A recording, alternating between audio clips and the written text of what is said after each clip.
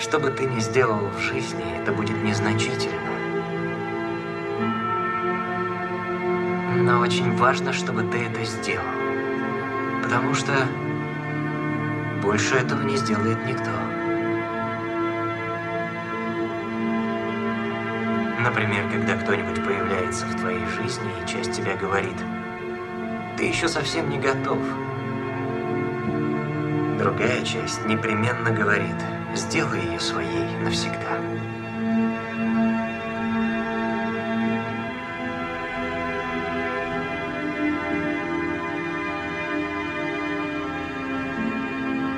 Майкл.